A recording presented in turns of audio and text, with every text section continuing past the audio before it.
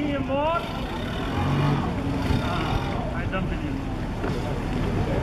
Et après, le bateau qui suit, c'est le Christ Marine. C'est une réplique des chaloupes de Grand Villers des années 1920. C'est un sloop qui est en effet, attaché au port de Grandville. Il a été dessiné et construit par les chantiers Confray en 1965. Et à bientôt les